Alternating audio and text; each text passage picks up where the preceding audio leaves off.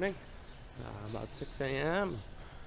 Starting today, so I think we'll uh, bring you guys along.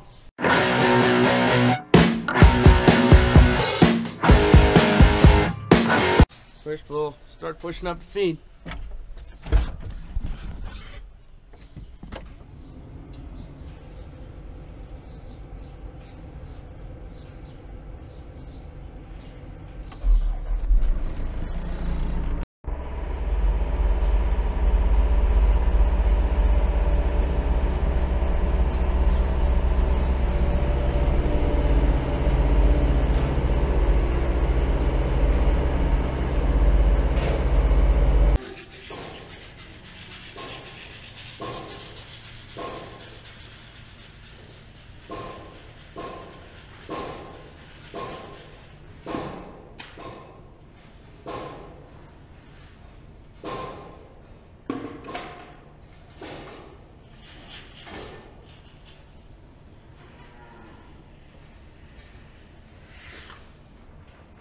I will feed these calves their pellets.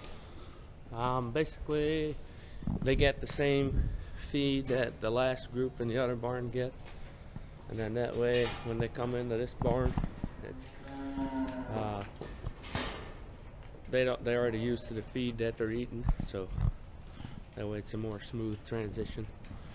So just make sure they're all getting up and going to eat. So.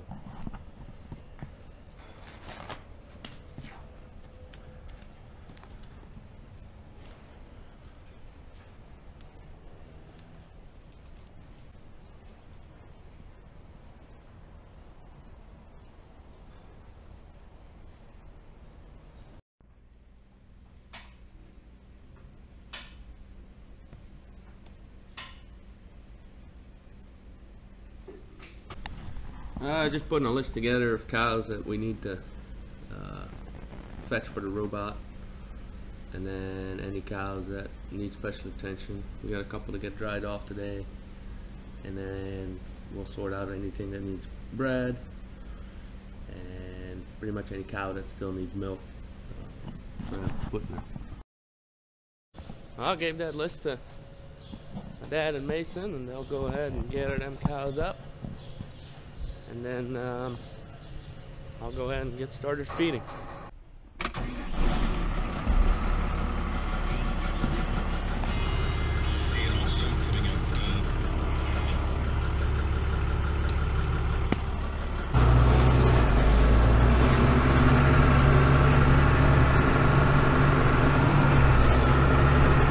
Uh, first we'll feed uh, milking cows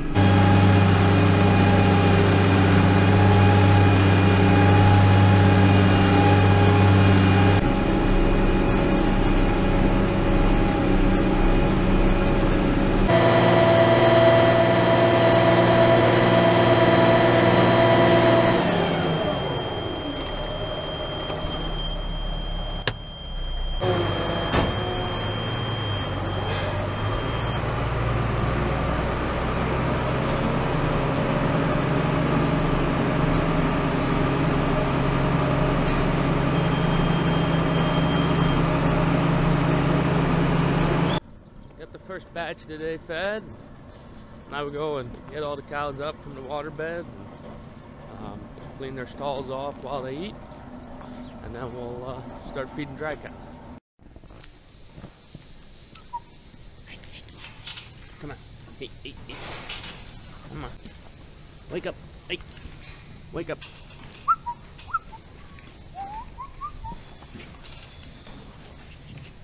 Come on. Hey, wake up. Come on.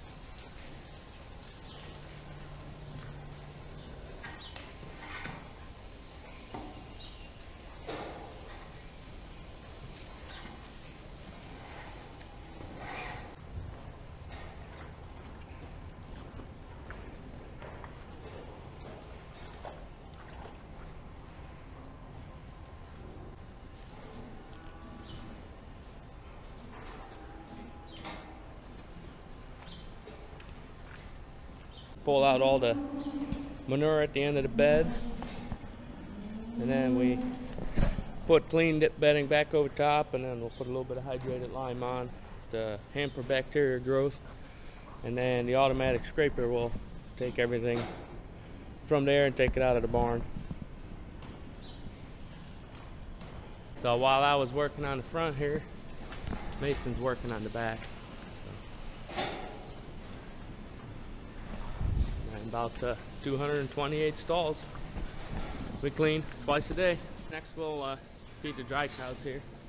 Uh, they get a little different diet. So we gotta feed them separate. They got a little bit left, so we'll probably feed a little less than yesterday.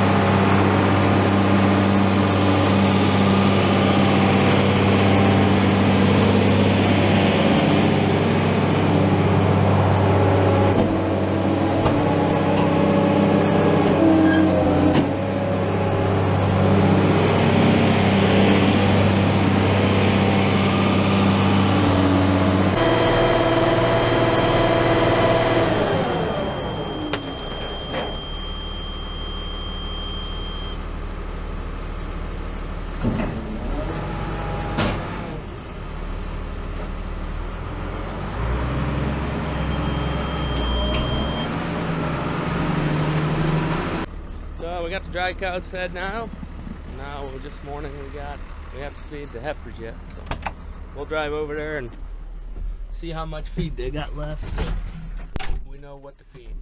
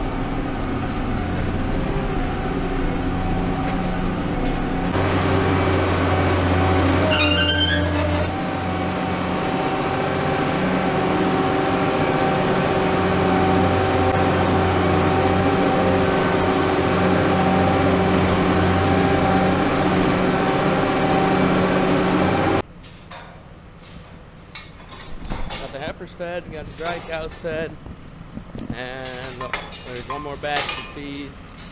Milking cows, we'll get a second batch, but all these, the dry cows and the heifers here should be good till tomorrow morning. Now it's uh, coffee time. Well, look who beat me to changing the milk filter. No, no, no, keep it going. I'll go drink my coffee.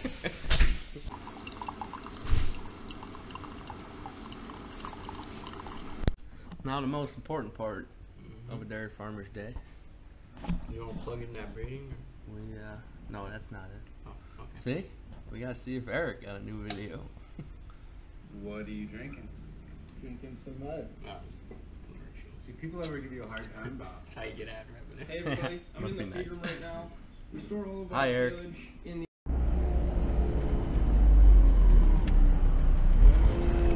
Got a load of sawdust show up. We'll get that unloaded.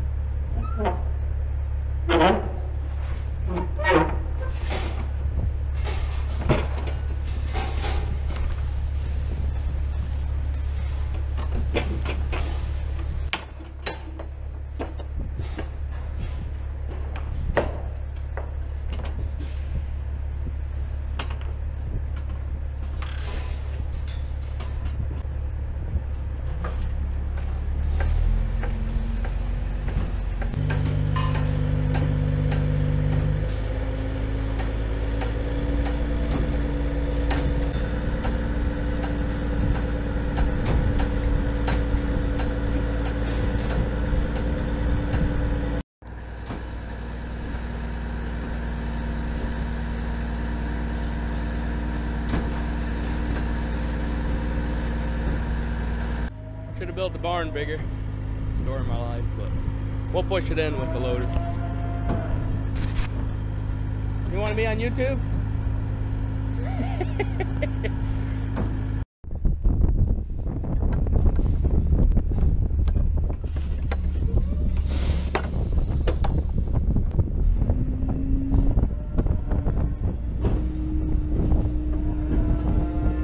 It's a walking floor trailer. It's pretty cool. It pulls them back one by one and then sends them all forward. Uh, just real quick, what we're working with there is uh, all sawdust, and it, I mean it literally is dust. And oh, we use it for bedding. We put it on the cow's beds and it absorbs any moisture. Um, that and it's cushiony. Uh, stuff actually comes from like a furniture place, so uh, they must sweep the floors and all. It's a waste product, so we're not like cutting down trees to uh, bed cow beds. Um, they make furniture out of that wood. This is trash to them, so uh, good use for us. And we use the sawdust as bedding versus like sand.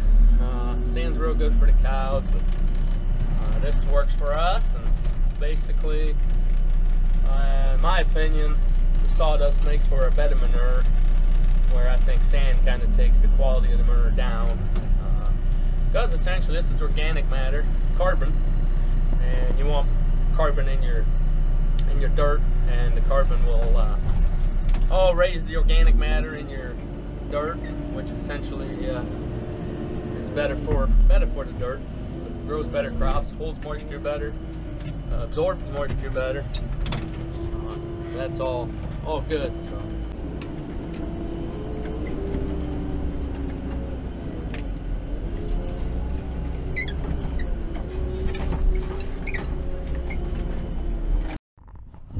Alright, we got most of it shoved inside, now we're just gonna clean up the edges.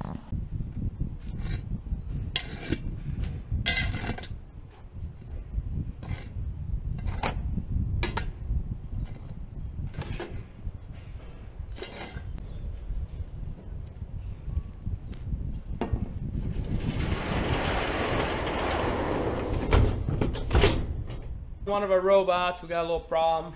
I'll show you real quick. Um, basically, what I got pulled up here is the failures per robot in the last 24 hours.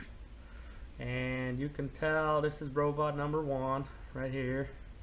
And she's averaging about 1.29 failures a day and only one in the last 24 hours. Uh, robot 3 didn't have any yet today. and It's averaging about 1.29. Robot 4 uh, two today, an average of 2.86. And then there's robot two, um, which today failed seven cows and is an averaging of 357. So that one's creeping up. Uh, so we're going to look into that a little bit. Uh, but before we do, I got another one I can pull up. Is our failed milkings list. This will show us the failed milkings here in the last 24 hours and so I can sort that on uh, which robot and there you'll see we got one two three four five six seven eight. So this thing says we got eight failed milkings in the last 24 hours. And then we can kind of go over here and see why. And there's a connection attempts automatic robot stop teats not found dead milk time. Connection attempts connection time dead milk time and another connection time. So a little bit of everything nothing specific. So let's go look at it and see if we can uh, see anything while trying to milk a cow.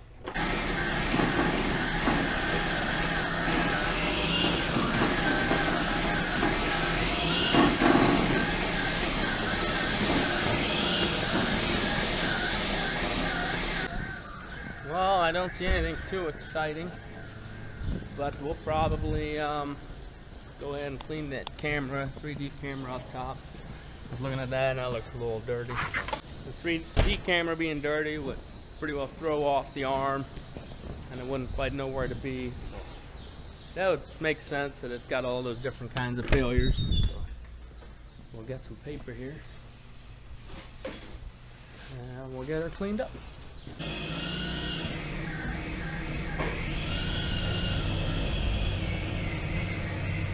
Looks a lot better, but that's a problem too. So we'll look into that. It shouldn't have that much movement. I went ahead and grabbed myself some robot specialty tools. So there they are.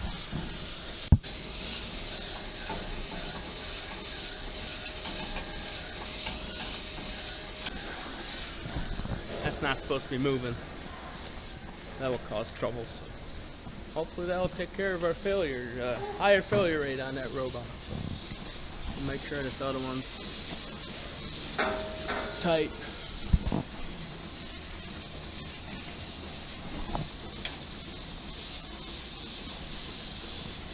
Yeah, that one's tight. Before we head out. Look, looks like the uh, barrel of teat dip's getting low.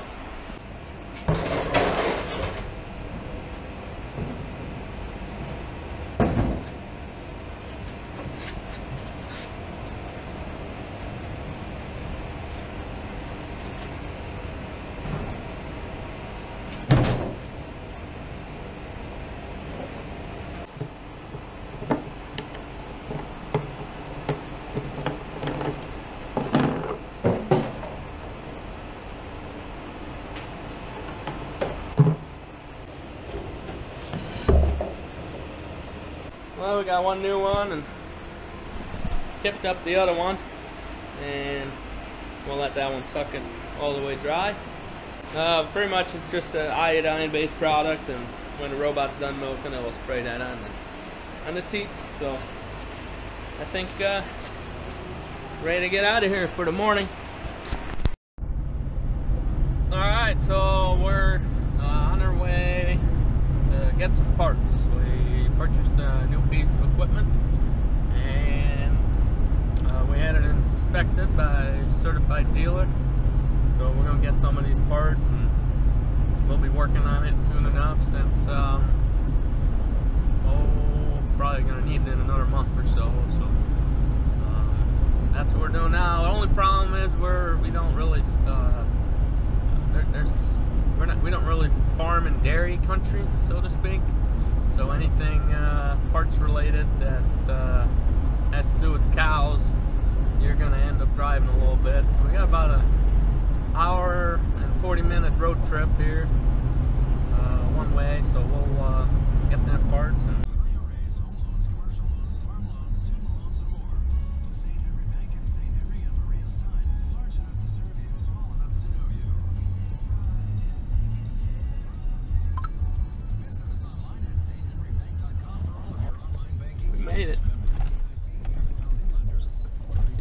find somebody. Well, I got my parts. Um, while we're here though, came this far, might as well see what all they got going on. Never been here before.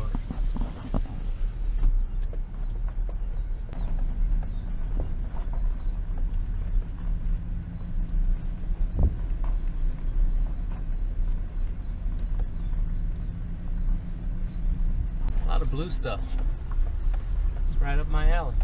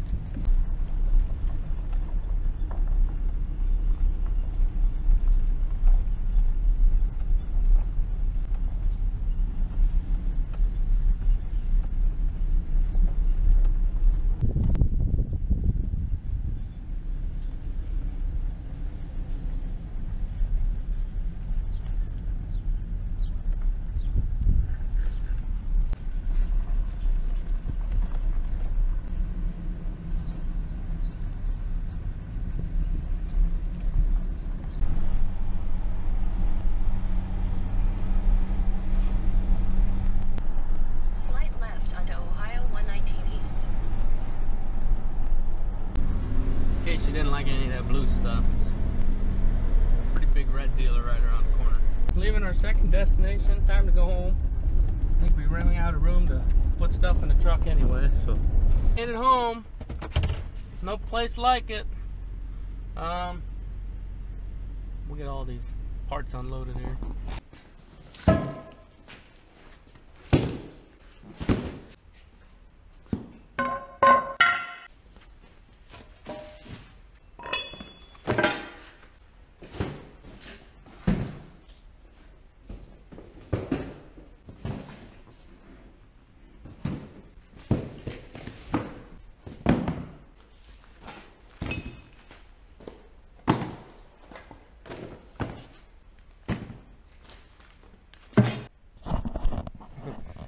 Well, there's a pile of parts. for a new to us piece of equipment and show you what they all go to here probably in the next video. So stay tuned. It's about 6 6 p.m. here now, and I think uh, we'll go check on the guys and see how they're coming along with evening chores, see if they need any help, and uh, and that'll be it for today. So thanks for watching. If you uh, like the video, don't forget to hit the thumbs up, and uh, don't forget to subscribe if you haven't already.